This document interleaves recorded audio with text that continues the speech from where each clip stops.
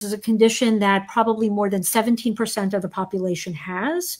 And I think the numbers, and that that's a pre-COVID number, post-COVID, post-COVID vaccine, I have to believe those numbers are much higher. And well, first we're talking about MCAS, mast cell activation syndrome. What are some of the symptoms? This is a multi-system inflammatory condition. And inflammation is is really one of the hallmark features of it. But um, the general themes of mast cell activation syndrome are inflammation plus minus allergy or allergic phenomena. So, you know, if they're being released in the skin, you can have rashes, hives, you know, various things happening there. If they're being released in the respiratory tract, you can have issues with breathing.